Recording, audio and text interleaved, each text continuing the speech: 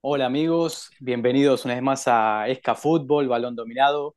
Junto con Mario Rey nos, nos unimos en esta tertulia que, que, estamos realizando para el inicio de la liga. Ha comenzado la Liga Española, eh, han debutado ya la mayoría de los equipos, en este momento está jugando el Atlético de Madrid, pero bueno, es, un, es una linda oportunidad como para juntar con gente que sabe muchísimo de, de fútbol, más de la Liga Española, para analizar cómo fue el debut de, del Barcelona, cómo fue el debut del Real Madrid, de la Real Sociedad, o sea, para, para los equipos grandes, cómo, cómo le ha ido en este, en este inicio.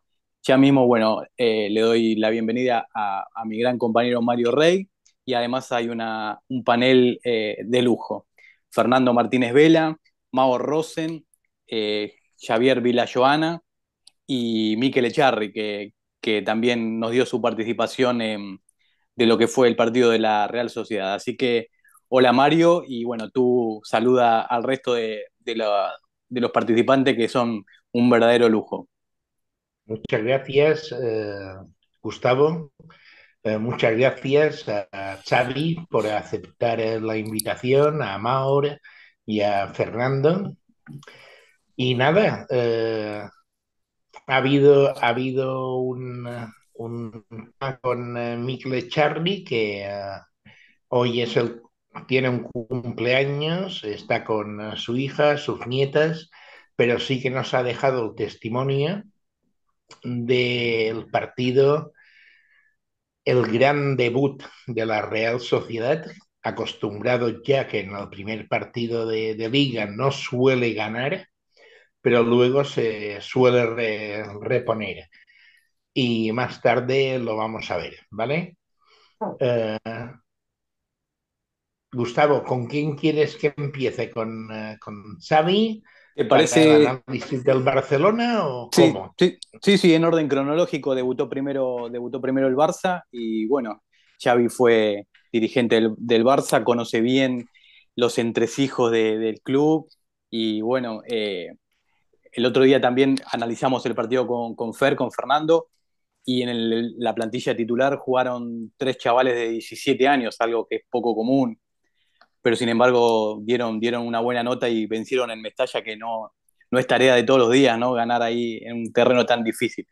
¿Cómo lo viste Xavi? Y bueno, y luego se meten todos en, en la conversación, ¿no? ¿Cómo, cómo viste este debut de Hansi Flick al, al, al mando de, del conjunto culé?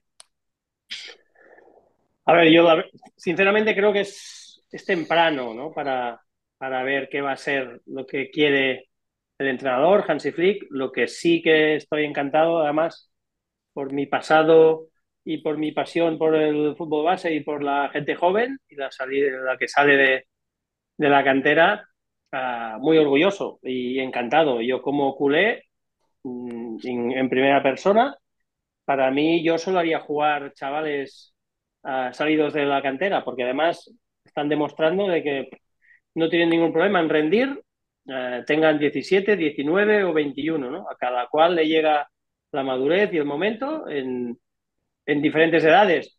Y, por ejemplo, que salga un Mar Bernal, que para mí hizo un partidazo, uh, pues ya es para estar muy orgulloso. Mm, Casado, Casado también hizo un pedazo de partido, los, los 90 minutos, arriba y abajo, dando soluciones. Uh, y vi un Barça uh, bien, confiado, a ratos uh, un poco demasiado alargado. Yo creo que el Valencia en ciertas fases le creó demasiado, demasiado peligro. Un Valencia que tampoco me pareció nada del otro mundo. Mm, yo creo que le faltan muchas piezas, pero al Barça lo vi, por ser el primer partido de liga, relativamente bien, sin, sin poder asegurar qué tipo de juego va a realizar Hansi Flick, pero sí que es verdad que los jugadores, sobre todo los jóvenes, los vi con muchísima personalidad.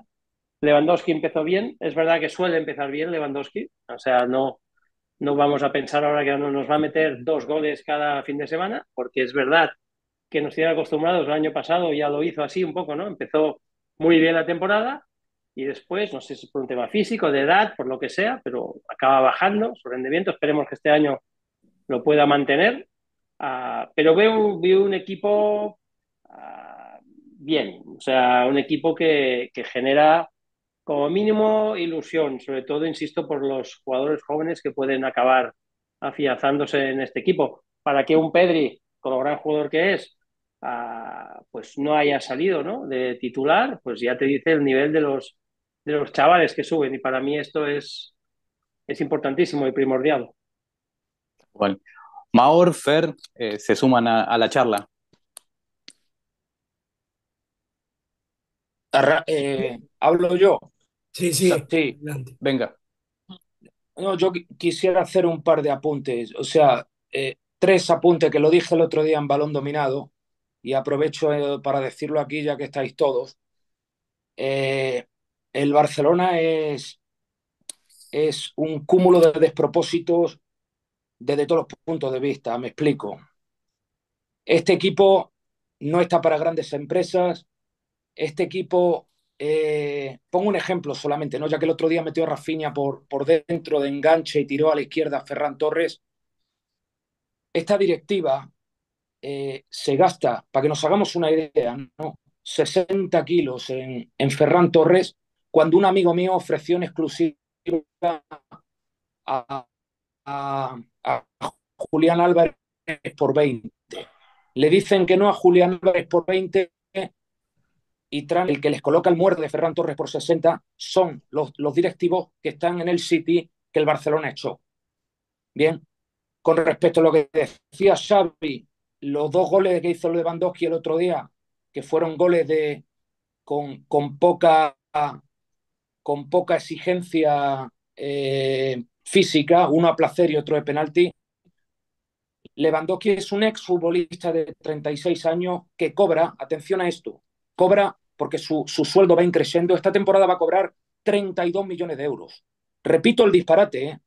32 millones de euros. Bien, y para terminar, decir que Hansi Flick, que normalmente el Barcelona y, eh, traía entrenadores en la cresta de la ola, eh, viene de ser responsable de uno de los mayores descalabros de la historia del fútbol alemán. Eh, ¿Qué sucede? Que la Porta le debe dinero a Pini Sahabi y Pini Sahabi es el representante de, de Hansi Flick. Y después, y, ya le pongo la podata y no soy más pesado, como nadie se hace responsable de todos estos muertos, de traer a, Gundogan eh, con la cabeza en otra cosa, en los alquileres de, de, Turquía, de traer a, a Víctor Roque, que pidió Xavi, que no lo pidió nadie, que no lo pidió... Como nadie se hace responsable de lo de Ferran Torres y tal, eh, yo tengo el conocimiento, porque tengo un amigo ahí dentro, que el único exclusivo y máximo responsable de todo este putiferio es el señor Laporta, porque ahí dentro no se hace nada sin que, sin que, sin que pase por el beneplácito.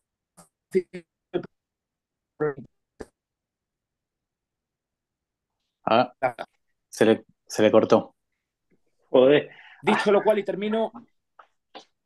Eh, eh, eh, en el minuto 55.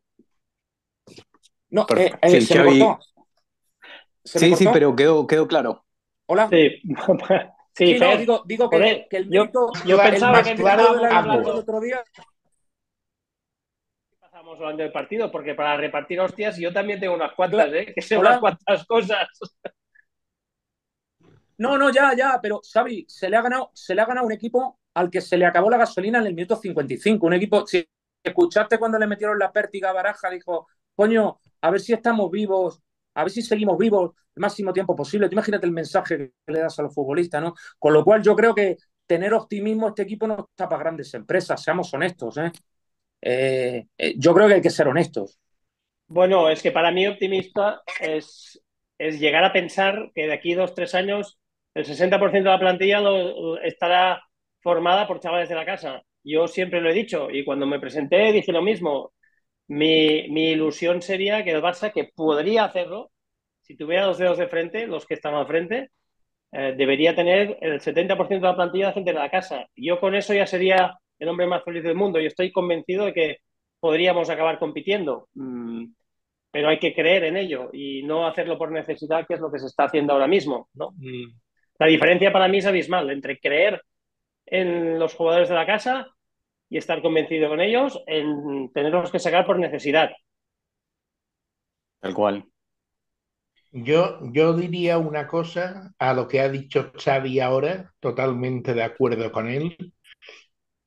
Es eh, el Barcelona está teniendo unos apuros económicos con el fair play bárbaros, gastándose una millonada en, eh, en cuatro o cinco futbolistas cuando tiene futbolistas en la casa que los está cediendo a otros equipos. Sí. Bueno, en tres años Mister, creo que ha habido más, más de 120 salidas o entradas en estos últimos tres años de jugadores. Es una auténtica barbaridad. Exacto. Dime, Fer. Pero ¿sabes lo que pasa, mister? Que antes, antes se ponían a los niños de la masía cuando las cosas iban bien. A los datos me remito, no, no me quiero ir a los tiempos de, de Cruyff. Y ahora tienes que poner a los niños porque estás en quiebra técnica. Y lo que es peor de todo, y termino, estando en quiebra técnica, te permites el lujo de pujar por Nico Williams, etcétera, etcétera, etcétera. Ese es el problema, que vives por encima de tus posibilidades y estás, estás alargando la agonía del club. Totalmente de acuerdo en, en esto. Y Xavi, y Xavi, te pregunto eh, el estadio cómo, cómo marcha y si, porque por lo que se, se, lee en las noticias, es crucial volver al Camp Nou, ¿no? Que Montjuic eh, ha alejado un poquito a la afición, no es, no es, lo mismo. ¿Cuándo crees que puede estar al menos disponible, ¿no? Como para jugar de local nuevamente. Sinceramente, yo creo que mínimo, mínimo, hasta inicios de la temporada que viene, seguro. Claro. Temporada seguro, mínimo, mínimo y con una capacidad que me gustará verla, porque una cosa es querer y otra cosa es poder. Y además, que yo estoy en el sector, mmm, es un proyecto que se está haciendo sobre la marcha uh, y que no se ha hecho nada semejante en ningún otro sitio. Es complicadísimo y además se le ha dado a, a una empresa que precisamente no es especialista en este tipo de, de construcciones. Por lo tanto, es otro, otro desatinado más de, de este presidente que le adjudicó un obrón a una empresa que en tres meses, cuatro meses dijo que lo haría más bonito, más barato sí. y más rápido, ¿no? Y esto uh, en nuestro sector no ocurre nunca, ni ha ocurrido nunca, ni creo que, que, ocurra jamás. Por lo tanto, es pues otro sinsentido eh, de esta, bueno, de este presidente principalmente y por ende de su junta directiva. Y es verdad que es clave empezar a, a, las temporadas y empezar a jugar en el campo, ya no solo por, por el arropo y por lo, bueno, la cantidad de gente, ¿no? los aficionados que se sienten mucho más atraídos, sino por lo que es la propia explotación del, del Spotify Camp Nou. Pero claro. bueno, tampoco me fío de ello porque se están anticipando todos los futuros ingresos de todos los que hay. Y yo me pregunto al próximo presidente qué le va a quedar, o sea, de qué va a vivir el club, de qué ingresos recurrentes va, va a obtener si estás anticipando todo lo posible y por haber, ¿no? Y eso realmente es, es muy, una muy pregunta. preocupante. Una pregunta. Perdón, ahora le doy la palabra a Maur, que le interrumpí. Perdóname, Maur. Una última cosa digo. Hoy el, estamos en la primera jornada. Me no, no te escuchamos. Lo Sí. que, con quien Se te corta mucho, Fer. que digo, que lo, que lo digo en la primera. Hola. Hola. Sí, sí. Sí, ahora. Escucha. Sí, sí.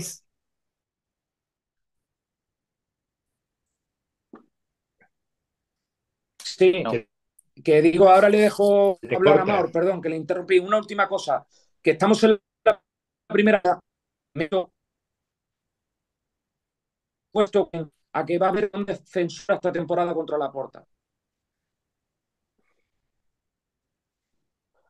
Una moción de censura, me ha parecido escuchar. Sí, sí, yo también pienso Hola. eso. Sí, Hola. sí, Fer, se, se te corta, pero te, escu- te escuchamos Sí, que... sí, que digo, eh, que digo, ¿se me escucha? Sí, Sí, sí, ahora sí. sí. Sí, ahora, ahora le dejo hablar a Maur, que le interrumpí, perdóname, Maur, que digo que, que me apuesto con quien, con quien quiera que habrá moción de censura esta temporada contra la Porta, lo digo en la jornada 1. No creo. Espera, dejemos hablar a Maur que, que, está ahí esperando. A ver qué. Así participamos todos. Hola, hola Maur. ¿Qué, te pareció Valencia, Barcelona, todo este, este ruido? Bueno, antes que nada, bueno, ¿se me oye bien? Sí, sí, perfecto. Bueno, antes que nada, buenas noches a todos, Gustavo, Xavier, Fernando, Mario. Eh, bueno, yo los voy a defraudar porque de todo lo que molesta un poco el riego que tiene. ¿El, qué? ¿El riego? Sí. estamos, Mario, estamos con noche de 35 grados. Si no nos refrescamos, estamos fatal. Este, decía que los voy a, lo voy a defraudar un poco porque las cosas que hablaron, lógicamente yo no, no estoy al tanto de eso, salvo por lo que se escucha en la radio, se lee, ¿no? Este, así que eh, con relación al partido, decir que, bueno, básicamente coincido con lo que dijo Xavier al principio, una primera parte del Valencia que a mí me gustó, me gustó, después se quedó. Eh, yo creo que la, el, dar vuelta al partido parte también de, de esa inconsciencia que tienen los jovencitos, ¿no? No, no la, la madurez de esos futbolistas que reciben estando 1-0, se ponen 1-2 y, y, reciben el, el, segundo gol como si fuera un piano que se cae de un quinto piso. Este, la inconsciencia de los jugadores como jugábamos nosotros de niños, que bueno, nos hacían un gol y seguíamos atacando. bueno, es un poco la inconsciencia que tiene la juventud, ¿no? Este, que bienvenida sea, bienvenida sea.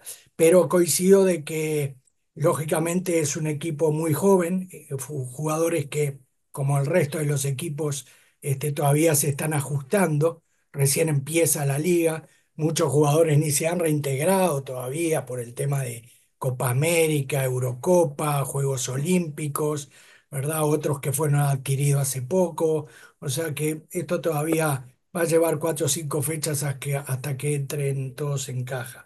Lo que sí quería decir era eh, solo para tocar. Voy, voy, a decir primero lo de, lo de Pau Cubarsí. Eh, yo creo que dentro de todo lo, lo que puede ser la, la, conflictividad que hay en el Barcelona y la toma de decisiones, que al final siempre decimos que lo más importante que tiene que hacer un futbolista es tomar buenas decisiones dentro del campo, ¿no? Este, pero acá hablamos de la toma de decisiones de las directivas, que bueno, uno puede estar más de acuerdo o no. Acabo de venir de, una charla con unos amigos del Cádiz, que ayer el Cádiz perdió 0-4 contra el Zaragoza y ya están pidiendo la dimisión de todo, de todo Cristo. Entonces, entonces este, a lo que me refería a lo de Pau Cubarsí, porque yo creo que se tomó una medida muy, muy cierta, muy correcta, que fue, que yo creo que fue eh, consensuada con Luis de la Fuente, el, seleccionador. Eh, porque si recuerdan, Pau Cubarsí hizo la preparación con la selección mayor para la Eurocopa y no se lo envió a la Eurocopa, se le dijo juega los Juegos Olímpicos. ¿Por qué? Porque se corrigió lo que pasó con Pedri y lo que pasó con Gaby, que jugaban la Liga, la Champions, selección mayor, selecciones juveniles, un, un olímpico, y después de eso, Pedri ya vive de lesión en lesión. Gaby con una lesión de largo alcance que ojalá en diciembre, dicen que en diciembre va a volver. Por lo, por lo tanto, creo que Barcelona no, no, no consintió en dejar ir a Pauco García, la, por lo que tengo entendido. A los Juegos Olímpicos yo creo que estuvo bien, que fue una buena medida. Por lo tanto, eh, yo creo que hay que ver el, tema, el tema directivo por un lado, el tema eh, futbolístico por el otro, por más de que son, tienen vínculo ni que hablar, pero vamos a tomar ejemplo de lo que pasa con las elecciones nacionales en España.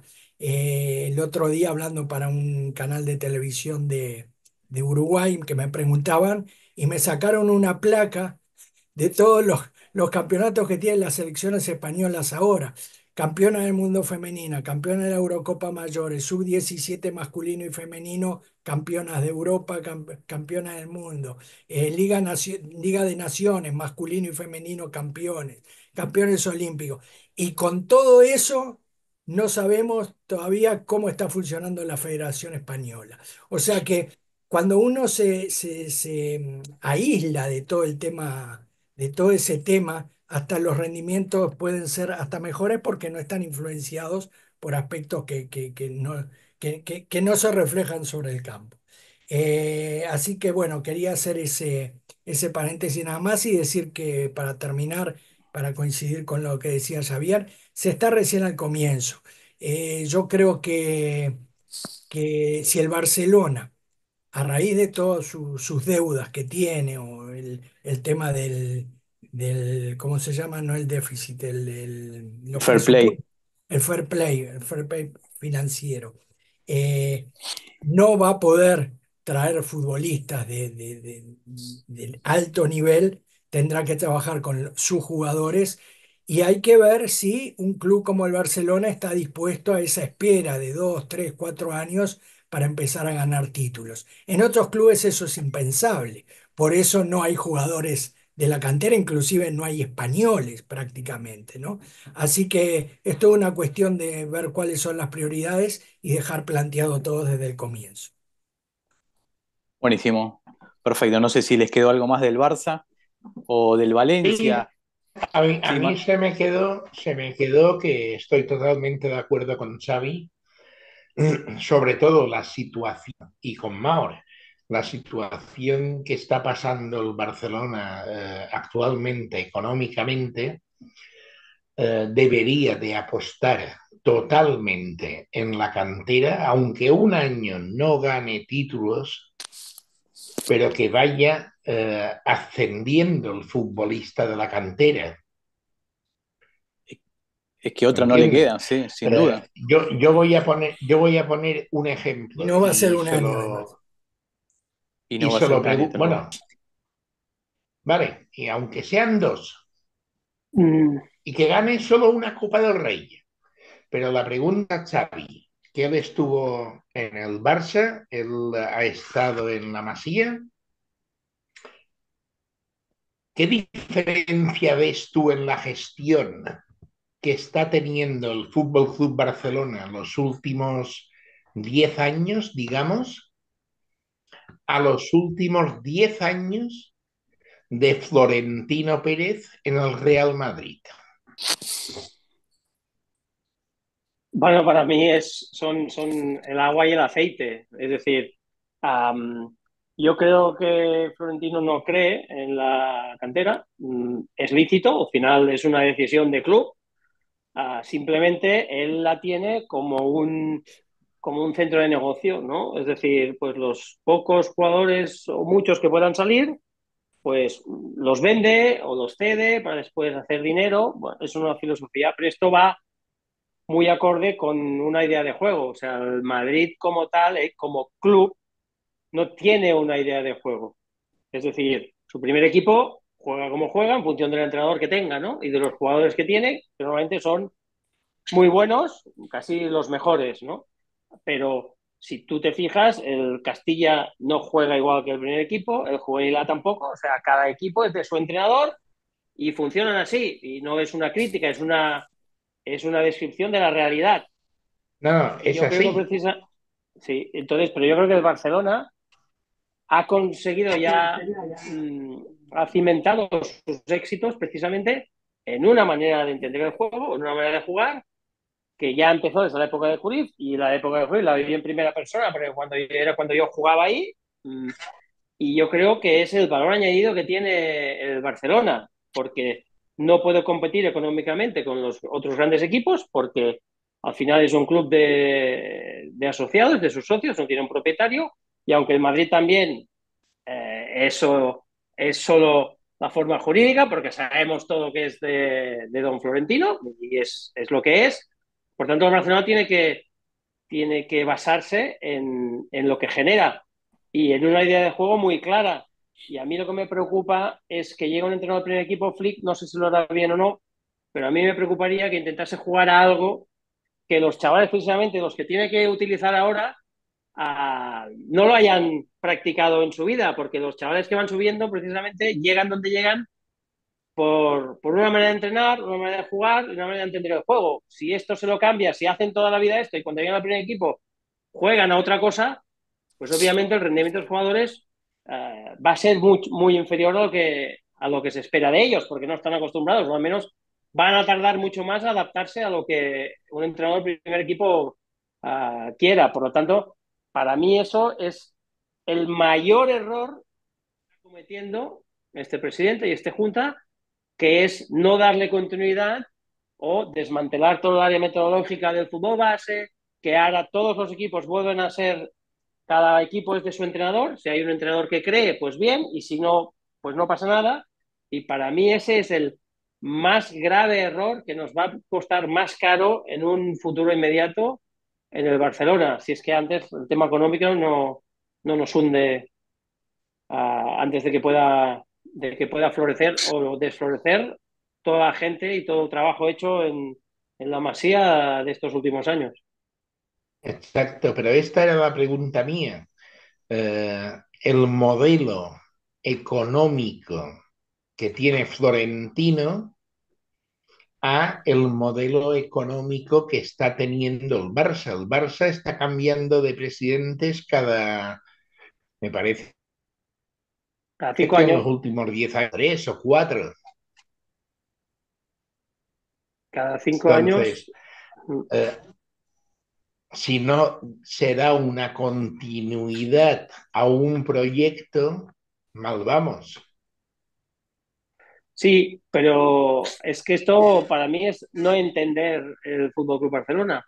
Los grandes éxitos los hemos tenido cuando hemos tenido una continuidad en una idea de juego que ha ido creciendo y que se ha creído en, en la gente de la casa. Mm, no seguir por este camino, independientemente del presidente que venga, me parece la cosa más absurda del mundo. Tú puedes tener otros criterios, pero en el tema deportivo, desde mi punto de vista, debería ser sagrado. Es como los gobiernos, que el sistema educativo de un gobierno puede cambiar cada cinco años o seis cuando, cuando se escoge un nuevo presidente, ¿no? O sea, debe haber un consenso generalizado de una manera de hacer y a partir de ahí aplicar mejoras a cada cual que vaya llegando. Pero renunciar a eso me parece, insisto, el error más grave que puede, que puede hacerse en un, en un club como el, como el Barcelona.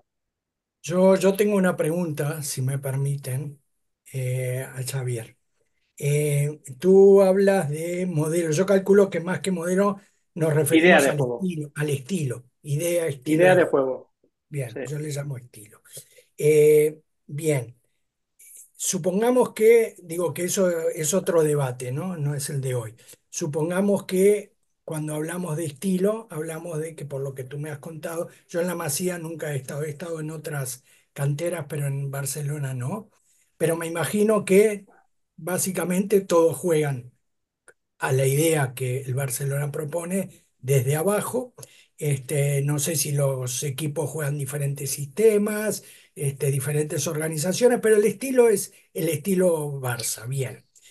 De acuerdo a lo que tú dices, eso significa que los entrenadores que se fichen para el primer equipo tienen que ser necesariamente, como fue en su momento Guardiola, que venía del, del filial, Luis Enrique no recuerdo si venía del filial Sí, también. sí, Sí, también, O también, sí, sí. después, también. o después entrenadores que eran de la escuela de Johan Cruyff. Entonces mi pregunta es, ¿tienen que ser entrenadores, de acuerdo a lo que tú dices, tienen que ser entrenadores que vengan de la cantera creciendo con ese estilo? ¿Tienen que ser entrenadores que vengan y que se adapten o, o entrenadores que conozcan muy en profundidad ese, esa idea de juego? Si me preguntas a mí, Xavi y Joana, te diría sí. Es decir, si yo puedo tener a igualdad de condiciones un entrenador que haya pasado y se haya formado en casa, en la idea de juego, porque no es una idea de juego sencillo. No es decir, oye, vamos a jugar un 4-3-3 y a tener el balón. No, no es eso.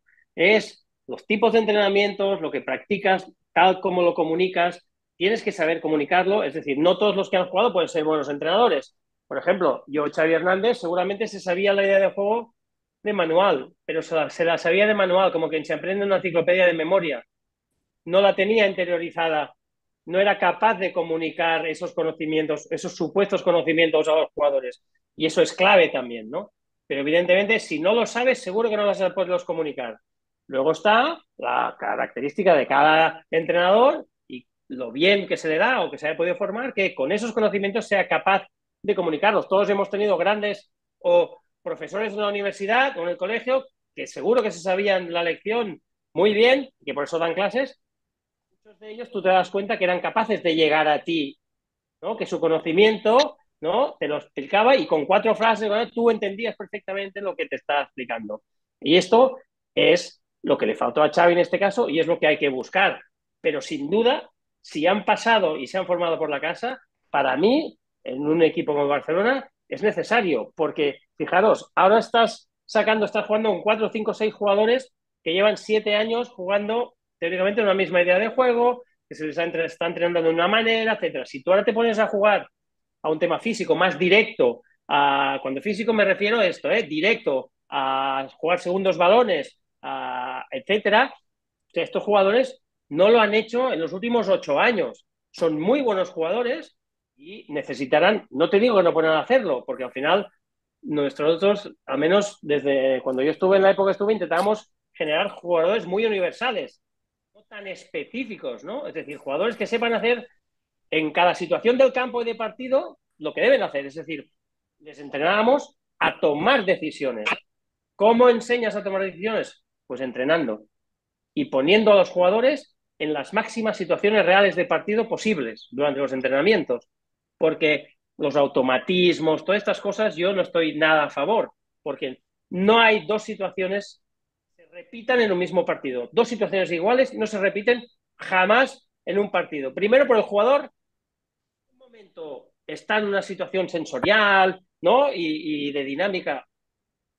Y en, al cabo de cinco minutos la misma situación, nos puede parecer la misma situación, pero el jugador puede ser que no esté en la misma situación, de ánimos, que le ha salido los regates antes, que no le han salido, ¿no? Es decir, no hay dos situaciones iguales en un partido. Por tanto, lo que hay que hacer es entrenar para que los jugadores uh, vivan cuantas más situaciones reales de partido, mejor durante los entrenamientos. Y esto es una manera de entender, formar a los jugadores. Si tú esto lo cambias o llega un primer equipo y ya empiezas a jugar a otra cosa, para mí esto es demoledor para este tipo de jugadores. Ahora, si empezamos, lo que queremos hacer es fichar, no sé, siete, ocho jugadores que creemos que ya son de rendimiento inmediato para otro tipo de juego, oye, pues hagámoslo, es otro, o sea, es lícito, ¿eh? La mayoría de equipos lo hacen así.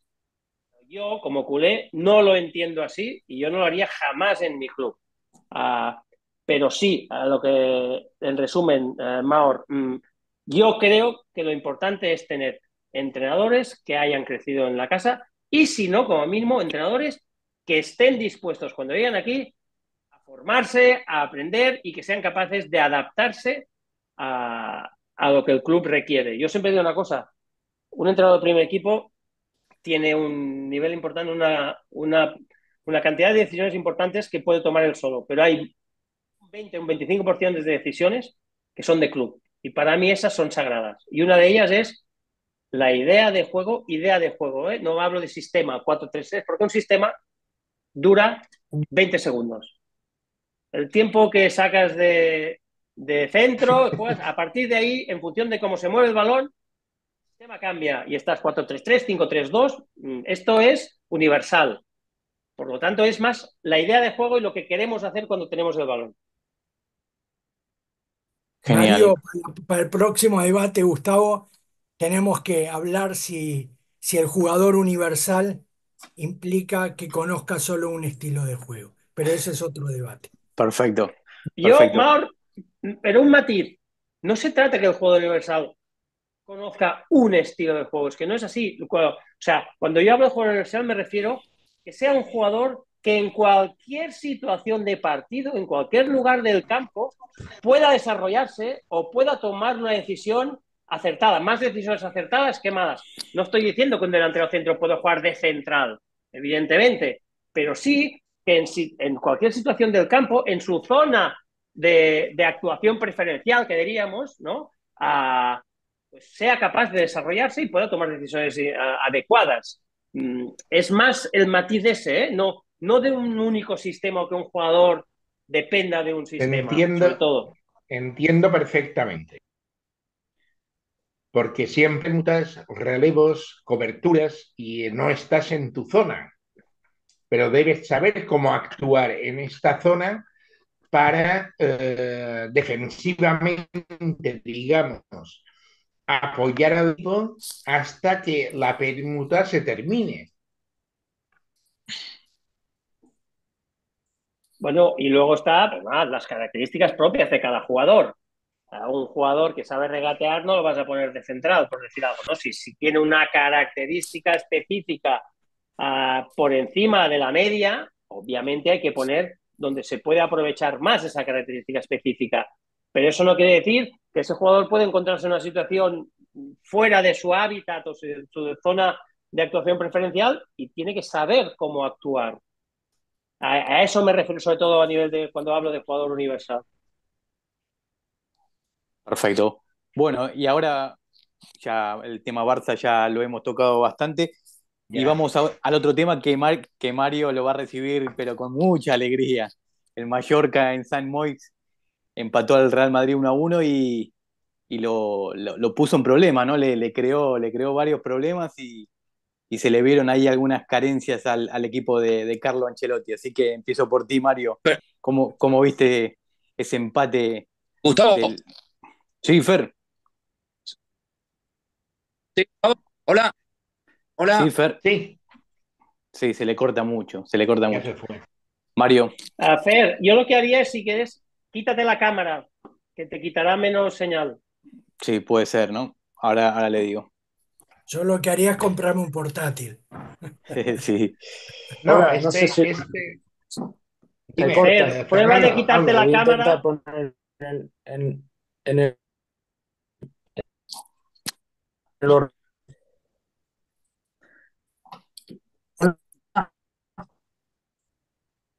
sí, no, Ahora, ahora le hablo. Bueno, sigue, sigue tú, Mario. Hola. Vale. Hola. Yo lo que, lo que vi este partido fue un... Dime. No, ¿Fernando? No, que se, se, me escucha. No, es que no sé. Se te entrecorta mucho. Quita la cámara, quita la cámara y tendrás mejor no, no, no sé si se me escucha.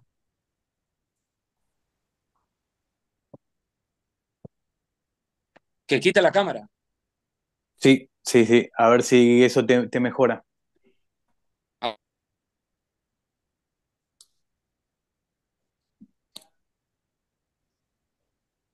Bueno, yo sigo. Eh, para mí el, el, partido, eh, el Real Madrid dominó totalmente los primeros minutos.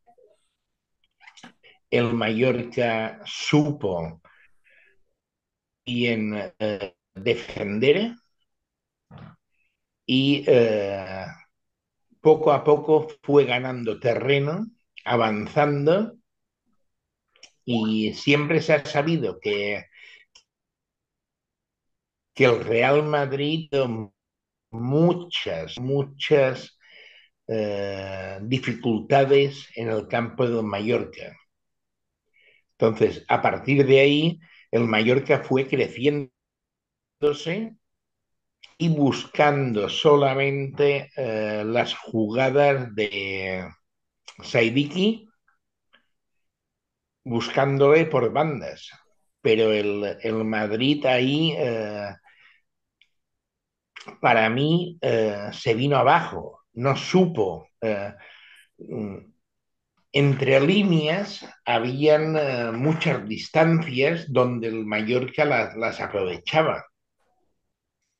Y en defensa, el Madrid en este partido tuvo muchísimas deficiencias. Igual como el partido contra el Atlanta fue un partido muy bien planteado por el Real Madrid, no tenían estas eh, diferencias, distancias, estos espacios libres que sí le dejaron al Mallorca. Y ahí Sí. Arrasate supo muy bien leer el partido y contrarrestar el partido.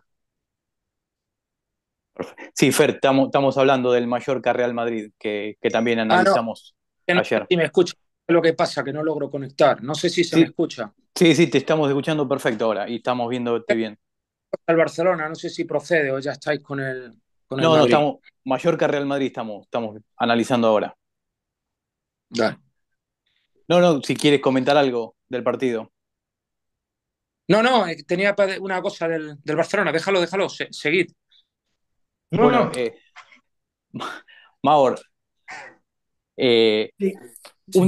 un desafío, ¿no? Para Ancelotti juntar a los tres de arriba, Rodrigo, Mbappé, Vinicius, más Bellingham, y que, y que sean eh, voluntariosos en el retroceso, ¿no? Como, como pide el fútbol actual.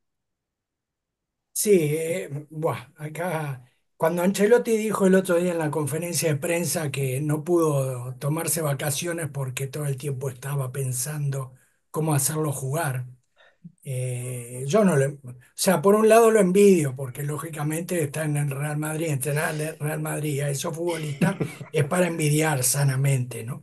Pero este, pero por otro lado no lo envidio en el- en las decisiones que tiene que tomar. Eh, vamos a ver, voy a empezar del final hacia adelante. Eh, los cambios, ¿no? Se hace un cambio que es el de Modric, no recuerdo si fue por, por Bellingham, y los No, otros cambios. Por Por, Cho- Tchouaméni, por y los otros cambios los hace muy poquitos minutos antes de terminar el partido. En el 86. Sí. Por eso. Entonces, ¿qué pasa? Eh, y, y después se escuchó la conferencia de prensa de, de Ancelotti, ¿no? Hablando de actitud, hablando de esto, hablando de lo otro. Eh, la pregunta es, eh, ¿cuánto tiempo le va a llevar a Ancelotti tomar, eh, y digo, no lo envidio, eh, tomar decisiones como, como quitar del partido jugadores que no están dando rendimiento, independientemente de cuánto costaron, el nombre y demás? Y, e independientemente de- sabiendo de que esos jugadores pueden estar 10 minutos apagados, pero se, se frota la lámpara y aparece la magia, ¿no? Así que primer, pr- primera cosa por ahí, el tema de los cambios yo creo que llegó tardío. El segundo tema, y siguiendo con los entrenadores, no, eh, no, no, la palabra no es menospreciar, no dejemos de tomar en cuenta que el Mallorca este año tiene un señor entrenador, ¿eh?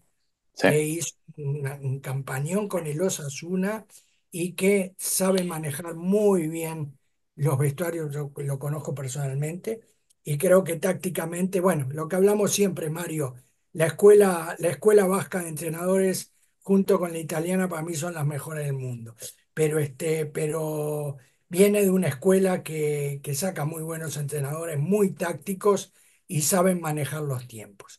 Y lo que me preguntabas, eh, Gustavo, mira, acá hay un tema que es muy claro. Eh, ahí hay un jugador, y me comprenden las generales de la ley, ¿no? Este, eh, me dirán, claro, porque es uruguayo, pero ahí hay un jugador que corre por él y por los demás, y que lógicamente no, no es una máquina, inclusive las máquinas en cierto momento tienen que pasar una ITV. Este, y yo y, Tchouaméni es un jugador que a mí me había entusiasmado muchísimo cuando llegó, pero lo veo cada vez más bajo en su rendimiento.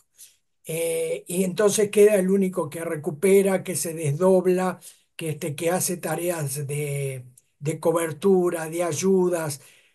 Cuando está complicado sabe qué es lo que tiene que hacer, recuperar y pasársela a los que saben más. Este, va a llegar un momento que Federico Valverde no va a dar más de sí. Y un equipo este, que tiene, que juega como una manta eh, de un metro ochenta en una cama de dos metros y medio, es muy complicado, es muy complicado. Si no tienes por lo menos dos jugadores, si ya hablamos de jugadores muy técnicos, si en ese sistema no tenemos por lo menos dos jugadores mixtos que puedan hacer tanto la función ofensiva como defensiva, o inclusive teniendo un Casemiro ahí en el centro, ¿no? Que, que era más tarea defensiva que ofensiva, este equipo va a sufrir mucho, sobre todo en las transiciones eh, que le pueda hacer al rival. Así que, que nada, yo creo que el, el resultado creo que fue justo, fue un partido muy agradable, pero que en definitiva marca que el Mallorca está en muy buenas manos y tácticamente va a dar mucho que hablar, y el Real Madrid no sé si vamos a identificarle un estilo, lo que sí vamos a identificarle, y no estoy descubriendo América con esto, es que los jugadores, los muy buenos jugadores, van a ser desequilibrantes siempre y cuando tengan espacio para maniobrar. Tal cual, Xavi. Sí, yo sinceramente tengo muchas dudas de este Madrid, ¿eh? porque yo creo que es un Madrid que va a ser de, extremos, no extremos futbolísticamente hablando, me refiero. Es decir, yo creo que va a haber partidos que se van a salir porque van a estar súper enchufados, seguramente van a tener tres, las van a meter. Yo creo que los equipos que sean capaces, que esto en muchas fases de partido lo hizo el Mallorca, y eso es mérito del entrenador, que es tener el balón. Sea, al Madrid le cuesta horrores, le va a costar horrores recuperar el balón. Por poco que los equipos rivales tengan paciencia y no transformar los partidos en idas y venidas, le va a generar muchos problemas al Madrid. Pero es que además, um, os digo una cosa, y esto se ha vivido en casi todos los equipos que han tenido grandes figuras que no han trabajado a nivel de equipo, es decir, con la recuperación, en modo recuperación, en las transiciones, en bajar rápido, en presionar. Y es que si un Mbappé, si un Vinicius no marcan regularmente la diferencia, los propios compañeros bajan brazos. Es decir, tú, y esto no lo viví en mi época cuando jugaba con Romario, es decir, estos jugadores cuando te marcan tres goles por partido, todos los compañeros corren, hacen 20 kilómetros más por él y no tienen ningún problema hacerlo, les sale de dentro, porque suma, ¿no? Y el otro compañero dice, bueno, yo corro 20 kilómetros porque este, a la que tenga, me va a marcar tres goles. Cuando este jugador en lugar de tres te marca uno cada dos partidos, ya corres conscientemente. Es decir, bueno, va, voy a hacer el esfuerzo porque a ver si este me va a meter los dos goles, como hacía antes, etc. Cuando pasas la etapa esa de que eso tampoco sucede, empiezan los, joder, ahora tengo que correr yo por este. La deriva llega a ser uh, muy mala. Por tanto, es estar siempre viviendo en un alambre, ¿no? Con este tipo de plantillas, donde hay tanta diferencia ¿no? de, intensidad o de compromiso, ¿no? por decir algo, eh, sobre todo en la parte de recuperación de balón. Y yo creo que el Madrid mm, ahí va a sufrir mucho. Y, y Arrasate ayer lo hizo de cine. Fijaros que Mallorca cuando recuperaba no se iba como un loco para arriba. ¿no? Intentaba tenerla, a, ¿no? hacer correr a los jugadores del Madrid. Y a estos jugadores no les gusta nada correr sobre todo psicológico, porque seguramente físicamente preparados están para hacerlo. Yo creo que es más un tema mental. Los jugadores de este calibre, Mbappé, me dice, pues que Mbappé ya lo hacía en el PSG. ¿Cuándo lo habíamos visto recuperar para atrás?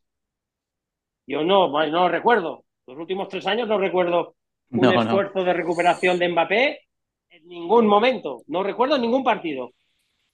Fuesen 2-0, 3-0, perdiendo 1-0, 1-1, no lo he visto nunca. Y esto acaba acaba tocando la fibra a, los otros compañeros.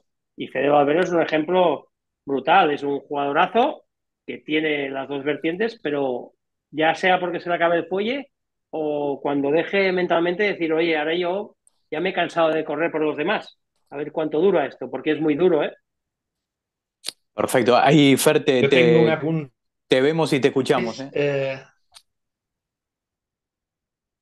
¿Cómo va a ser capaz Telotti de el vestuario cuando vengan batas, sobre todo derrotas eh, muy importantes, con Vinicius eh, y toda la jerga que hay dentro del vestuario. Ya han habido rumores más entre Mbappé.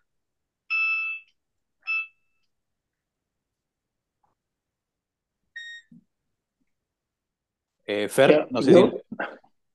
Sí, nos... Fer, ¿nos escuchas? Hola.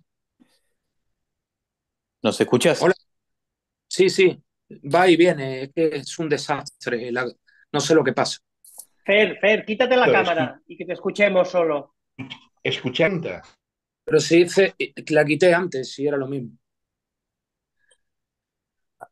A ver qué tal. no, no sé si eh, quieres aportar algo del Mallorca Real Madrid. Que no sé por dónde, por dónde van. eh, eh, es que me acabo de meter.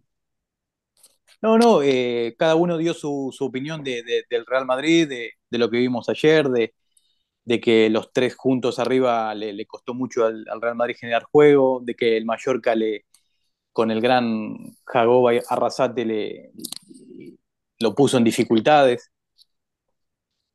Sí, bueno, yo eh, lo primero que quiero decir es que es muy difícil, es muy difícil ganar el año, o sea, el año después de, de haber ganado, ¿no? Eh, eso está, está demostrado, ¿no? Psicológicamente afecta, afecta a los grupos. Y ojo con este tema del, del portal de Belén que está, que está armando el Madrid. Yo me acuerdo una vez, esta película ya la hemos visto, ¿eh? que ganó el Madrid una Copa de Europa, que- aquella de Morientes, McManaman, tal, y justo después llegó Florentino y trajo a, a Figo, a Zidane, a Ronaldo los fenómeno, galácticos. al Madrid de los Galácticos, y Florentino, que toda la gente se le olvida, eh, que es un tío que nunca puso un duro en el Madrid, ojo, nunca puso un duro en el Madrid. Pasa que tiene la gran suerte que no tiene, no tiene rivales. eh, se tuvo que ir por la gatera del Madrid en aquella época.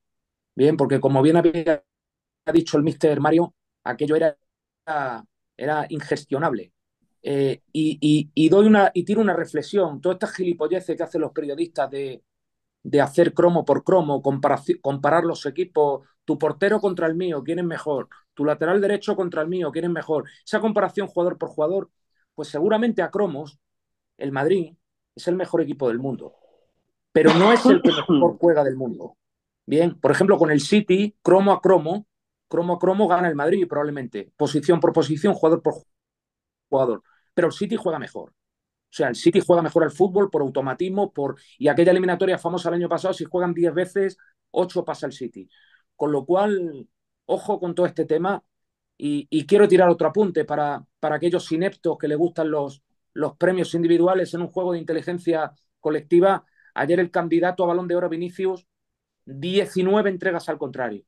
Repito, 19 entregas al contrario. Me acuerdo yo cuando Menotti entrenaba al Barça, decía, Maradona le da un pase al contrario y no duerme tres noches. Bueno, pues este señor, 19 entregas al contrario. Hay partidos que entrega 18 balones al contrario. Eh, perdón, 28 balones al contrario. Pero, pero bueno, eh, el fútbol está en una crisis de juego de identidad brutal y, y este Madrid no, no tiene rival. Eh, esto es lo que hay. Gustavo, si me permites algo, Sí, sí, eh, sí, por supuesto. me, me- me olvidé, me olvidé de, de un tema que, que, bueno, que puede ser polémico de ahora en adelante, la posición de Mbappé. Eh, Mbappé, todos sabemos que la, la- el punto fuerte de Mbappé es su potencia en el arranque y en la salida en diagonal hacia la portería, desde banda, desde banda, Banda sobre todo en- izquierda. desde banda izquierda, exacto. Eh, en el Madrid lo vemos muchas veces perdido, porque lógicamente no es un punto de referencia, sin duda. Ahora, eh, yo calculo que la idea va a ser esa rotación sobre, no, no tanto Rodrigo, pero yo creo la, la permuta de, de lugares entre Mbappé y Vinicius, ¿no? Pero de cualquier manera, eh, yo creo que se le estaría quitando, y yo creo que Mbappé tampoco lo, lo soportaría mucho tiempo, que lo ubicaran de centro delantero, dejando a Rodrigo y a Vinicius por banda, ¿ok? Siempre y cuando jueguen todos los partidos, que no van a jugar todos los partidos. Entonces ahí van a ver, van a ver más jugadores por detrás que le van a poder dar más juego. Pero es un, es un tema que va a haber que verlo y ver cómo lo gestiona Ancelotti, porque no es solo el tema de, eh, de estar en la posición, sino de llegar a la posición. Y es el tema de dónde puedo aprovechar mejor a mis jugadores, que es lo que lo tiene mal a Ancelotti, que yo lo comprendo y como dije al principio, en eso solo en eso no lo envidio. Tal cual. Y bueno, también otro futbolista que eh, te linkeo con lo que decís, que no solo estaba, sino su mejor versión era llegando, era Jude Bellingham. Y ayer también lo, lo noté incómodo. No sé, Mario, cómo, cómo lo viste, porque él eh, partía del medio centro y, pisaba el área. Y ahora con, con Mbappé, con Vinicio, con Rodrigo, eh, se choca en la posición, ¿no? Por, por, eso hice yo la pregunta antes. Eh, ¿Va a haber un recelo entre ellos dentro del, del vestuario, porque ninguno va a, a destacar eh, al 100% como ellos pueden. O sea, alguien de ellos quedarse en el banquillo para hacer un hueco. Estamos hablando ahora de Mbappé. Mbappé empieza siempre desde la izquierda en diagonal. Mbappé va a estorbar a Vinicius. Claro. ¿Me explico? Bueno, es que yo, yo a Bellingham precisamente veo que este sí que tiene, que tiene, que tiene mucha cabeza y ha dicho, bueno, yo si tengo que jugar más atrás, pues tendré que sacrificarme más. Y realmente a este sí que es un jugador sacrificado. Lo que pasa que le, estás, le obligas a hacer cosas en las cuales no destaca. Y ese para mí es perder un grandísimo potencial en un jugador enorme. Y mientras ganas. ¿Eh? Y mientras ganas. Exacto, exacto. Cuando las cosas, como digo, cuando las cosas van bien y vas ganando, no hay problema. Si los hay, nadie se da cuenta, nadie quiere hablarlos, nadie los comenta y ya sabéis que esto tira que te va. A la que no empieza a haber con cierta continuidad resultados positivos, ahí estalla y no hay entrenador que pueda gestionarlo, ya os lo digo yo. Se llame Ancelotti, se llame Guardiola, se llame como se llame. Cuando hay uh, hostias dentro de un vestuario, mm, ya puede ser Dios que no, que no tiene solución. Hablando claro, no hay cojones a controlarlos. No, no, no es que no, es que no puedes. No es que sí puedes tener, perdonar. Luis Enrique quiso sentar a Messi cuando la estaba liando y, y casi le cuesta el cargo a la liga porque, oye, que al final los que cuentan en el campo, los que entran y juegan con el balón son los jugadores, ¿eh? no el entrenador. No, no, lógico. Ya sabéis, ya sabéis el poder que pueden tener los jugadores. Al final son ellos los que entran en la cancha, ¿eh? no los demás, no el entrenador. Y, lo Por tanto, desde ese punto de vista, ya puedes tener los huevos que quieras. Tal cual. Sí, además, eh, Fer, eh, te, te, sumo a la charla, que tiene a Modric en el banquillo, Arda Guller, eh, Brahim Díaz, eh, Dani Ceballos, o sea, muchos jugadores se están quedando cada vez con menos minutos con respecto a la temporada pasada. Tiene el micrófono apagado. Fer, enchufa, Fer, pon el micrófono. Sí, hoy. El micrófono. Ahora. Sí. Ahora. Ahora. Sí, sí, estoy metido ahora en el ordenador con el teléfono conectado. ¿Se me escucha ahora, sí? Sí, sí, perfecto. Sí, digo que, que cuando un equipo gana, la mierda la puede meter debajo de la alfombra que no se ve. Pero, pero en el Madrid, en el Madrid, que tienen un lobby montado, eh, Juni Calafat, Ribot, el hijo de Florentino y compañía, que poca gente sabe que, se han gastado más de 60 millones de euros en jugadores que no han servido para nada, pero, eh, o sea, ahí ahí juegan los que tienen peso. Eh, hay jugadores que porque no los trajo este grupo de personas, que son los dueños del club, pues, pues ya pueden hacer maravillas en, que es el caso de Brahim, por ejemplo. Pues hay jugadores que por peso no van a jugar en el Madrid, eh, por una cuestión de, de, quién los trajo. Bien, y eso, yo, yo tengo un amigo en, en esta plantilla, un jugador y hay, y hay futbolistas que uno dice, joder, es que el jueves era impalable, hizo tres goles es el mejor entre semana, pero es que el domingo juega, juega eh, eh, por, por, porque, porque mientras siga ganando y, y, y, se pueda esconder esa situación, pues, pues no se ve. Pero, pero eso, el, el Madrid está gestionado así. Tal cual, tal cual. Bueno, Mario, no sé si quedó algo, llevamos una hora de, de, de video. La real, la real, mi real. La real. Perfecto. Ahí, la real. Adelante. Adelante, Mauro. Ah, bueno. No, bueno, Maur, a, a, ver si, a ver si coincides con Miquel. Miquel, muy buenas. Ya empezamos una temporada nueva. Mm, para ti, desgraciadamente, no ha, empezado, no ha empezado tan bien con tu Real Sociedad, pero son los primeros pasos que se están dando en, en la competición. Uh, esto no tiene nada que decir aún, porque aún está el mercado de fichajes abierto y uh, el equipo se está empezando a rodar. ¿Vale? Pero, ¿cómo ves tú mmm, lo que dijo Imanol de que Zubimendi se encontraba indispuesto? ¿Indispuesto en qué?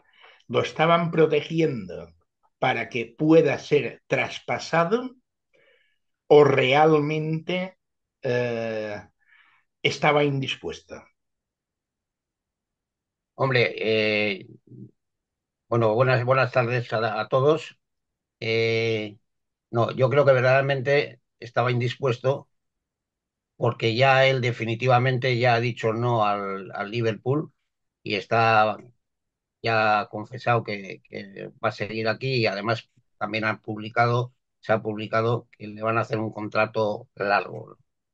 No, yo creo que yo creo que la habrán adjudicado, he visto que ha salido con el número 4 y como ocupa la misma posición que Xavi Alonso, yo creo que será un poco respetando esa posición del número, ¿no? Igual que eh, eh, Miquel Oyarzabal lleva el 10 como, pues, como antes se destacaba un poco como el más estándar.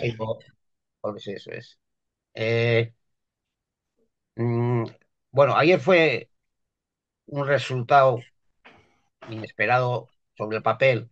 Si estamos pensando en las campañas de los últimos cinco años de la Real Sociedad, pero sí que había varias circunstancias, yo no digo que dieran paso a, ese, a esa pérdida del partido, pero el Rayo Vallecano preparó muy bien el partido, jugó un 4-3-3, pero parecido más casi a un 4-4-2, porque este, y sí, que normalmente sabes que juega en la media punta o bien por la derecha o bien por la izquierda, jugó por el centro, con lo, que con lo cual jugaron más en posición de rombo, con presión alta, y, y, la Real jugó el clásico ya también acercándose un poco al 4-3-3, al faltar este, eh, Zubimendi, jugó prácticamente con este, Turrientes, eh, Zárate y Bryce de centrocampistas, pero Bryce ocupando más la zona de media punta de nuestra época, en un 4-4-2 rombo. ¿No? Bueno, vamos a nombrar el uno, que no, no digan que se nos ha olvidado Exacto, el portero. Salimos, salimos, salimos con portero. ¿eh? Aunque al, al, es que el, el Rayo preparó, preparó bien el partido, preparó muy bien. Eh, sabes que está de entrenador Íñigo Pérez, que había sido el segundo bien.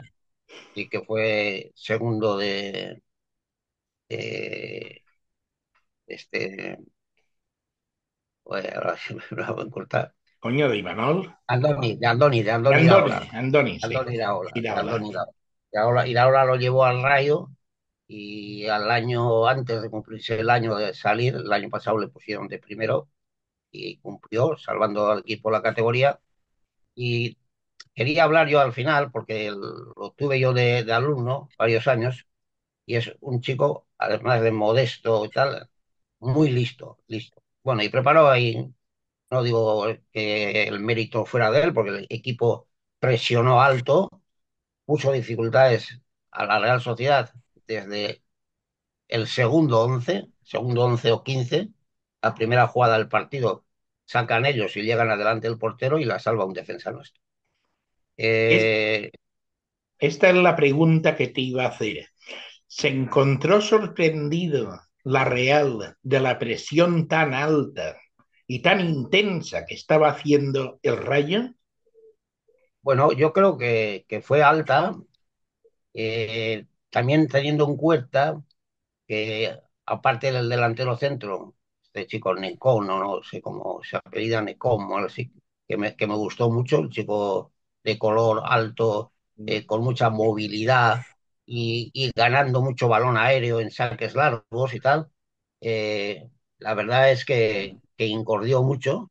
Y luego las bandas las ocuparon de frutos y en barba, que me encontré con en barba, que del español había pasado al, este, al Almería el año pasado y esta vez no, tuve oportunidad de estar viendo el partido con el director deportivo del Alavés, que es nuestro próximo rival, y no sabía yo que estaba en este equipo y hicieron una buena presión. Pero ambos, tanto Barba como de Frutos, son jugadores dentro eh, de la primera división veteranos, es decir, no son ni unos pipiolos. Y luego de media punta, que también lo conoces, jugó Easy.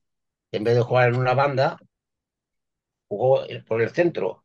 Y, intentando hacerlo bien a, a, la Real Sociedad, que intenta jugar desde atrás.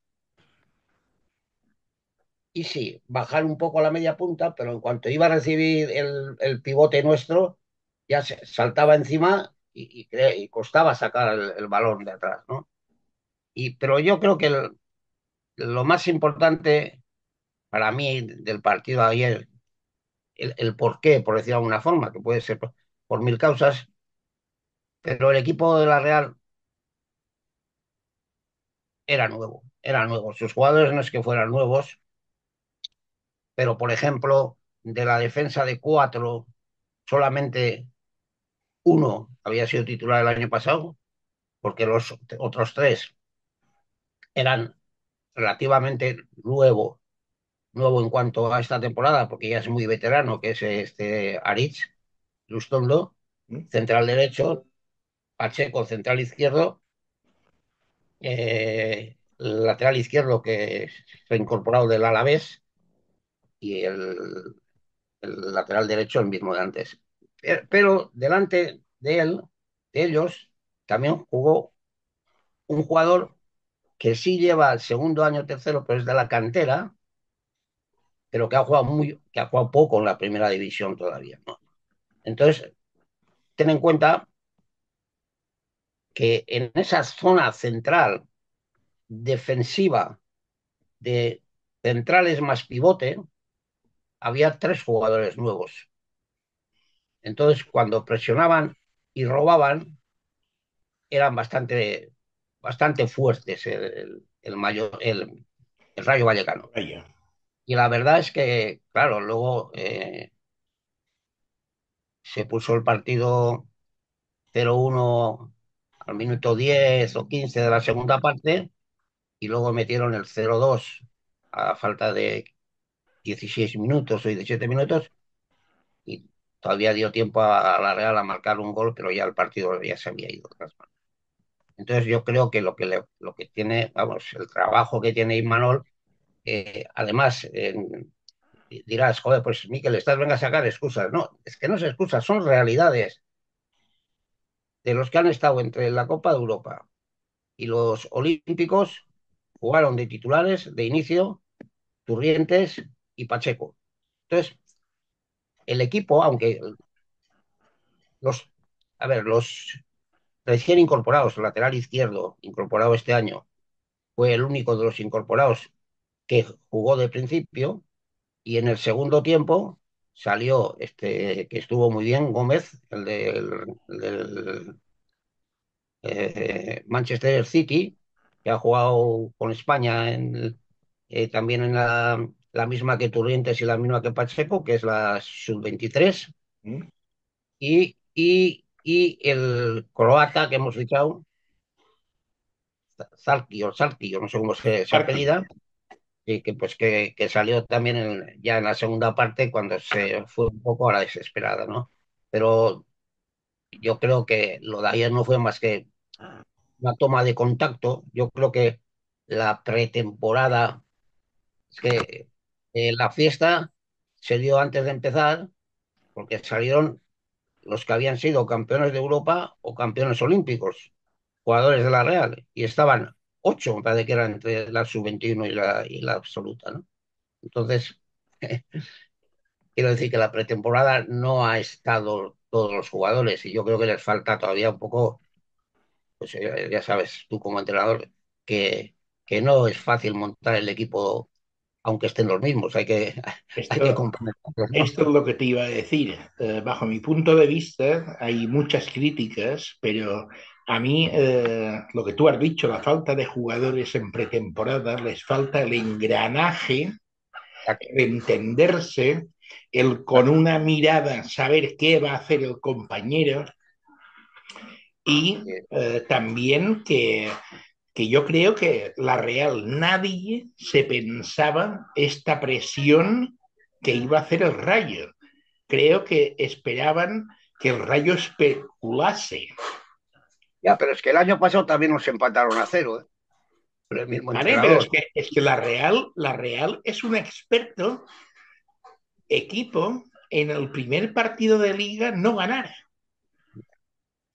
Mira los últimos 10 años.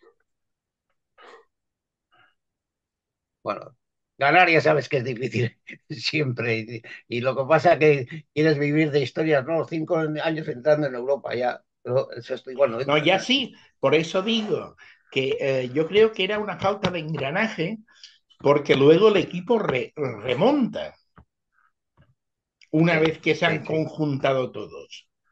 Sí. ¿Mm? Y luego la última yo, yo me pregunta. ponía, yo me ponía a ver la alineación y, ponerte a pensar un poco en alto, por decir, "Oye, sí, pero es que, oye, sí, todos estaban en la plantilla, los 11 jugadores sí estaban en la plantilla del año pasado, pero ocupando diferentes sitios, ¿no? Dentro de lo que era la plantilla. Exacto, pero la pregunta es, eh, con tanta falta de delantero que tiene el, eh, la Real, Sadiki, ¿por qué no jugó de principio? ¿O no en Mr. Noel? Pues yo creo que tiene, que tiene dudas, tiene, yo creo que tiene dudas eh, con las actuaciones que tuvo el año pasado, ¿no? Que fue un chico que si de repente aparece y mete dos golazos y, y luego pues no está acertado. Yo, a ver, pero yo creo, yo aquí con, con amigos, digo, a mí me parece que la temporada del año pasado de Sadik no es, no puede ser la normal. Un chico que ha metido 18 goles en una temporada en segunda división, que diga, sí, pero segunda división, sí, segunda división hay que meter 18 goles, ¿eh? No es No es gota a fácil. gota. Sí, para, para, para al año siguiente no meter ni, ni sin portero, ¿no? No puede ser, ¿no? Hay, hay, hay, hay, hay, hay algo que, que, que el año pasado le estuvo comiendo el coco, porque los que pierde, por ejemplo, la eliminatoria contra el Mallorca de Copa, son tres ocasiones que, que está la portería vacía. Así que no es tampoco... Pero tú ya Vale. sabes que el fútbol... Y la última pregunta es, bajo tu punto de vista, ¿qué incorporaciones o en qué puestos hacen falta jugadores en la Real? Bueno, yo ahí no voy a meter Mario porque yo creo que ahí están los técnicos que sabrán resolver seguro como lo han resuelto hasta ahora, ¿no? Lo que pasa que yo creo que este año sí que el hecho de haber coincidido en verano con, con, con esos dos campeonatos de la Copa de Europa y, y los Olímpicos y que han llegado además hasta, las, hasta la final, han jugado todo, han jugado todo, pues yo creo que ha tenido que incidir lógicamente en lo que has dicho tú. Es decir, el engranaje no, no puede ser normal. Es decir, que en el fútbol se necesita la coordinación entre las líneas para que el equipo pueda andar bien y yo creo y confío que, el equipo va, va a andar mejor, por supuesto. Vale, pero ahí no te quieres mojar. No, no me quiero, no, no me quiero mojar porque, no sé, es decir, un poco lo que has dicho tú, si, si vamos a ver lo del año y que yo con, con Imanol, eh, medio en broma o medio en serio, pero siempre le doy el, el mismo ánimo y le digo, Imanol, no recibir gol. De ahí para adelante ya veremos lo que pasa. Y eso es, ver- es verdad que lo han cumplido. Hace dos años, yo creo que fueron 18 partidos sin recibir gol en contra. Claro, sin recibir gol en contra, aunque los delanteros no te metan tantos goles, quedas arriba, ¿eh? Son mínimo 18 puntos. Claro, claro. Yo, y efectivamente, hombre, si, si el Pero, delantero. pero esto, el esto se suele decir siempre, ¿no? Se suele decir, primero portería cero. Sí, Y sí, alguna nos caerá. sí, sí. A mí me suelen decir, joder, es que tú toda la vida has sido eh, muy defensivo. Que va, defensivo es el reglamento, que te dice que si no te meten gol te dan un punto. El reglamento es defensivo. No te dice que metiendo cuatro goles te dan cuatro puntos. No, no, te dicen si ganas, tres puntos. Y si, y si no te meten gol, un punto. Luego, el, el que es pide ser defensivo, se le. El Mira, reglamento. estás repitiendo lo que me dijo Juan Malillo un día y dijo, primero tu portería cero Sí, sí. y luego ya se verá. Y esto era cuando la liga aún estaba en dos puntos. Decía, pero el 50% lo tenemos. Ya te voy a decir, porque esa misma conversación la tuve con él un día, porque yo, ya sabes que Juanma empezó conmigo tal cual, y, y tal, y, y digo, me dice, joder, es que tú empezaste, le digo, "Shh, que tú con el Salamanca no has subido a primera división por ser el más goleador, ¿eh? Por ser el menos goleado. No, no, así es. Y él lo dice, la mejor táctica son las reglas de juego. Sí, eso es. El, reg- el reglamento del juego el dice- es sim- siempre se basa, el mejor sistema, la mejor táctica es cumplir con el reglamento del juego. Muchas gracias, eh, Miquel. Nada, Mario. Y eh, hoy tienes una celebración familiar, no puedes estar en directo, pero esperemos que las próximas veces puedas estar. Sí, hoy tengo cumpleaños ya, 19 años, el segundo de los nietos, es decir, esto va para arriba. Arriba, yo voy antes. Un abrazo, Miquel. Igualmente, Mario, encantado. Venga, chao. Bueno, yo no, no sé, no sé, no, no tengo idea la- lo, lo que, lo que piensa Miquel, pero hablé con él la semana pasada de algunos futbolistas. Este, yo sigo diciendo que eh, un cuento muy cortito, hace muchos años vino acá a Jerez, a un lugar de concentración, un equipo que era el Groningen, creo que era, y jugaron un amistoso contra un equipo local de acá. Y había un medio que era pequeñajo así, pero buenísimo, y había un delantero centro alto, rubio, que yo dije, pero este es un cañón, ¿qué hace acá? Terminó el partido y cuando se iba para el vestuario, que está ahí pegado al campo, eh, le pregunté quién era, no sé qué, me saqué una foto con él. Resulta que ese señor, al poco tiempo, lo veo jugando en la Real Sociedad, que era Sorlot. Y dije, mira, este Sorlot se ve que, bueno, a veces acertamos con lo que vemos, ¿no? La gran, la gran mayor, la mayor parte de las veces no acertamos, pero con Sorlot acertamos. Y me llamó mucho la atención que eh, dejaron ir a Sorlot, se fue al Villarreal, ma- marcó goles de todos los colores, ahora está en el Atlético de Madrid. Desde que se fue Sorlot, trajeron a Sadik de la Almería, se lesionó, bueno, la Real Sociedad hoy por hoy no tiene un delantero centro. Eh, la Real Sociedad, cuando no juega Merino, el, el equipo se resiente en el centro del campo. Eh, tiene, yo lo vengo diciendo hace tiempo, para mí el año pasado el, el centro del campo de la Real Sociedad con Merino, Subimendi y Brais era de lo mejor que se vio acá. Tiene ahora muchos extremos porque tiene a Taco y ahora tiene este Gómez que trajo y bueno, y Arzabal cuando juega por banda y, este, y tiene a Barrenechea, o sea que por ahí va bien. Tiene un problema en defensa, el haber dejado, el haber vendido a Lenormand, este, está Pacheco ahí que no lo hizo mal ayer, pero es un equipo que está recién, es como que se regeneró y, necesita tiempo para, para ensamblarse nuevamente. Eh, Allá en la segunda parte se quedaron, los cambios no, no surtieron efecto y tiene el problema que yo siempre lo hablo con Miquel, que desde hace muchos años la Real Sociedad no tiene un líder dentro del campo. Pero cuando hablo un líder, no hablo de los grandes jugadores que tiene, hablo de uno que marque presencia, que cuando las cosas no van, diga, acá acá vamos a parar la pelotita, le pega tres, cuatro gritos a sus compañeros y el equipo remonta. El equipo, no, o, no, cumple ese rol. No, Oyarzábal, como capitán es, un chaval normal, digo, no tiene, no tiene eh, lo, que lo que podía tener, a ver cómo te puedo decir, un, eh, dame un nombre de, un, sí, una voz de Roberto Perfumo para ir a lo tuyo. Un Puyol, un Puyol. Un Puyol, de, verdad, ese tipo de gente que, bueno, que se hacían sentir. Este, No hablamos de, de juego fuerte, que eso también a veces no está mal rascar. El Bilbao es diferente, tiene características totalmente diferentes, ¿no? Pero yo creo que es un equipo que todavía está buscando a su líder, a su líder es un equipo a nivel futbolístico muy parejo, de muy alto nivel, pero que a nivel de liderazgo también es muy parejo pero no hay nadie que sobresalga que marque eso. Y después, bueno, el tema de la portería, que Ramiro ayer no tuvo su día. Yo que sé, hay, hay, no, no vamos a ver a la Real del año anterior, ni del anterior, seguramente. Así que, y calculo que la, la asignatura pendiente para Roberto Lave ahora es tener un delantero centro que marque goles. Perfecto.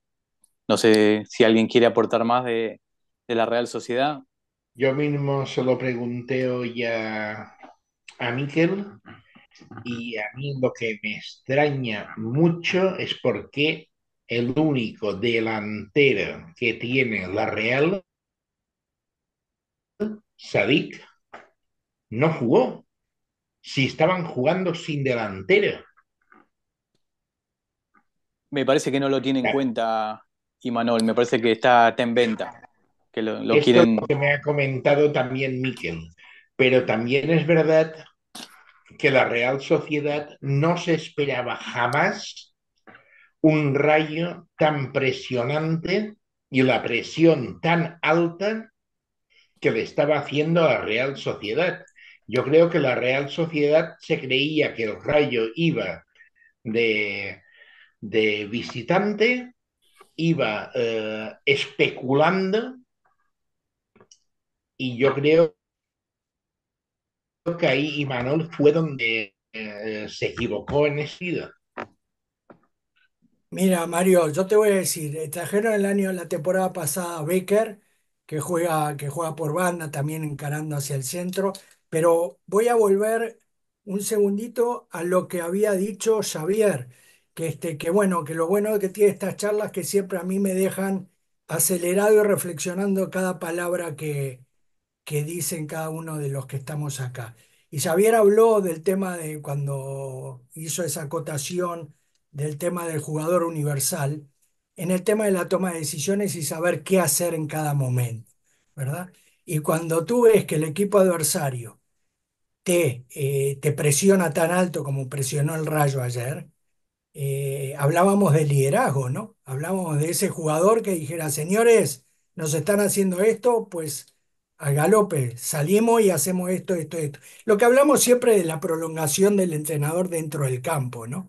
Y entonces ahí viene eso, ese concepto de jugador universal también que manejaba Xavier.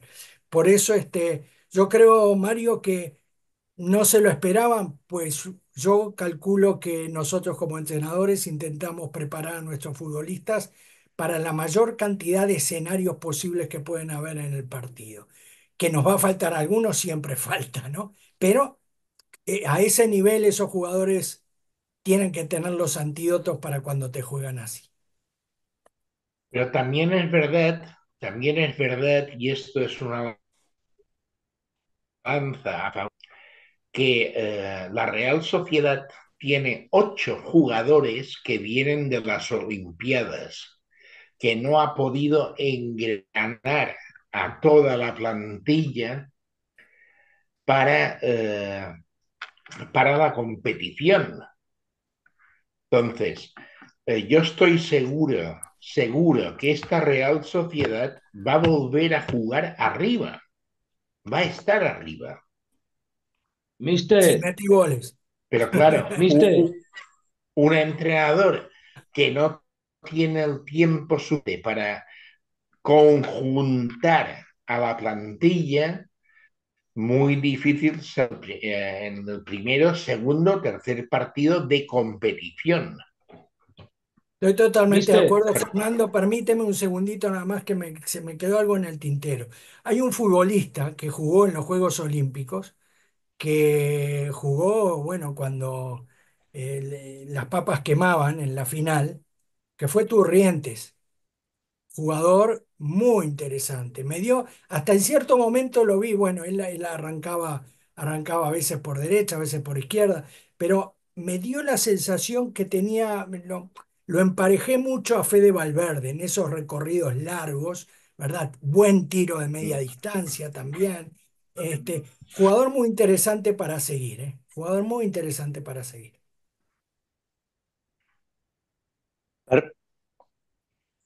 Fernando.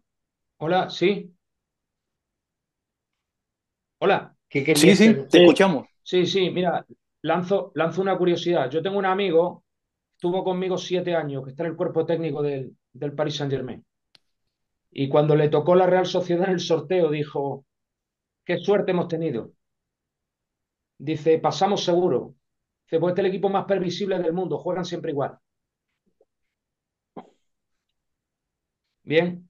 O sea, analista del Paris Saint-Germain. No recuerdo cuál fue el resultado de, la ida y de la vuelta. Recuerdo que si el Paris Saint-Germain aprieta un poquito más el, acelerador en el partido de vuelta, eso sí me acuerdo, le mete cinco. Sí, pero, ganó, dice, es una bendición. Claro, pero, pero fíjate, es que eh, volvemos a, lo mismo. Yo, yo creo que eh, hubo un señor a mí que en el, en el club de golf El Prat de Barcelona, que me llevó mi amigo Minguella, un señor que se llamaba Johan Cruyff, me pongo de pie, que me dijo, mira, esa historia del ADN Barça eh, es una mentira que creó el sport y el mundo deportivo. Dice, porque yo en Kaiserlauten tuve que jugar con cinco atrás. Bien, eh, y, cuando yo tenía Korneyev, Escurza, Sánchez Jara y Arpón, pues, pues no podía jugar con, el, con los tres arriba. Yo jugaba con, con los tres arriba abiertos cuando tenía Stoico, Ladru, Romario y compañía. Y dice, Benito Floro el pobre, que tenía a Duboski, Villarroya y el otro, pues no podía jugar. Entonces, el, el, fútbol hay que jugarlo con lo que tienes y de acuerdo a las circunstancias. Eso de que, de que todas las categorías jueguen igual, de que la, la escuela de Zubieta, el ADN Barça, eso es mentira. Eso es mentira. Y así le va al Barcelona. Es que lo del ADN Barça perjudica al Barcelona, porque es mentira. Porque si yo no tengo jugadores y tengo que ir a jugar contra, contra el Milan de Saki a San Siro, pues tendré que cambiar. No, no puedo ir a, jugar con tres atrás y los centrales abiertos. Bien, entonces yo creo que la, la, Real, la Real Sociedad, cuando, cuando se enfrenta a equipos de, cierto nivel, eh, se convierte en previsible. Bueno, bueno, Mario, no sé si faltó algo, pero ya llevamos, ya estamos una hora y veinte. La verdad que espectacular, ¿eh? la charla, tocamos todos los temas. Una hora y veinte y hay que, hay que sumarle los 20 minutos de... Exacto, exacto, exacto, exacto. Así que bueno, eh, la despedida te la, dejo a ti, Mario. Pues nada, agradeceros eh, tanto a ti, Gustavo, por, estar aquí con nosotros, a Xavi, a Maor, a Fernando, y vamos a estar todas las semanas o los lunes, digamos, analizando lo que ha sido la jornada anterior. Y quien se pueda sumar, perfecto. Quien no pueda, pues eh, no pasa nada para la próxima jornada. Genial. Muchas gracias a todos. Pues gracias Abrazo para todos. Saludos a todos, Mario, Fernando, Xavier, Gustavo. Un abrazo. abrazo.